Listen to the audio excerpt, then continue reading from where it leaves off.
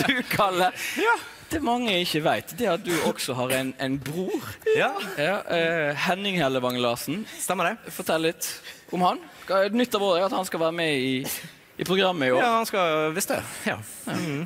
Det gikk jo seg til på den måten at eh, Ja, altså, min bror eh, Eller deres bror. Det er egentlig deres skyld, faktisk. Det er deres skyld fordi at dere lot broren deres Bjarte være med i fjor i en musikkvideo.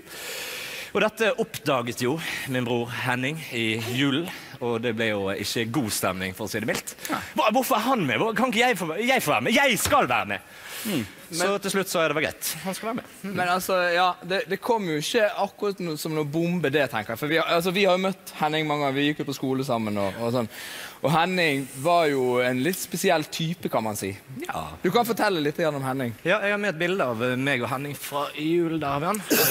Dere er jo eh, litt like, på en måte. ja, det syns du det? Ja, Bitte litt, eller? Ja, uansett. eh, Henning han er tre år eldre enn meg. Han Han studerte økonomi på BI, så etter det har han startet et eget firma som drev med import av eh, mobildeksler. Salg av ringelyder. Gikk litt opp og ned. eh, Men det er jo det med Henning. Han har alltid hatt lyst på en måte å være komiker. Ja. Men jeg har jo møtt Henning en del ganger, og han er jo ikke Han slår meg jo ikke som en sånn komikertype. Mer sånn bitter Han er litt aggressiv. Han er, han er en veldig kjip person. Ja. Ja, han- han er vel eh, det man vil karakterisere som en møkkadel. Ja. Nei, det kan du nesten ikke si om min egen bror. Hva har han, eh, hva han laget oss?